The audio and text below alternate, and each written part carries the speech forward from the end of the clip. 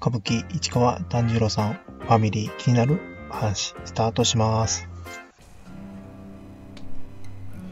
市川團十郎さん小田原で初公演市川團十郎。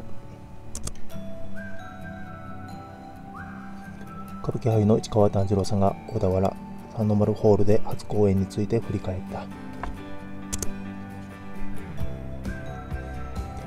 小田原の新しいホールらしく歌舞伎は初とのことです。楽しみです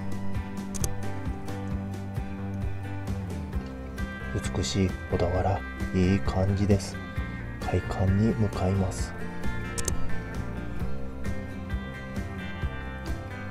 小田原公園の様子小田原の皆様ありがとうございました。成田屋と小田原との公演は今で305年と約2ヶ月です。2代目市川團十郎からの公演です。本当にありがとうございました。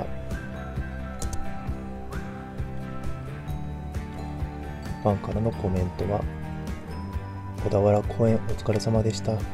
客席満員の入りですね。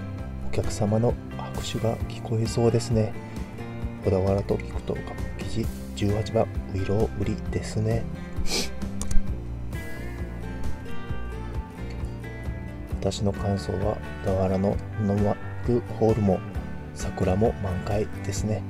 家族全員で見に来ましたとコメントされてる方もいました。すごいなんか大きいホールみたいで。なんか、えーと、かなりの方が来られたみたいで。それも、えー、満員御礼ということで相当あの拍手とかも歓声とかも大きかったんじゃないかなというふうに思われます。まあ平日でなければカンカンのウイロリを見たかったっていう、えー、歌舞伎ファンの方も多かったんじゃないかなというふうには思われます。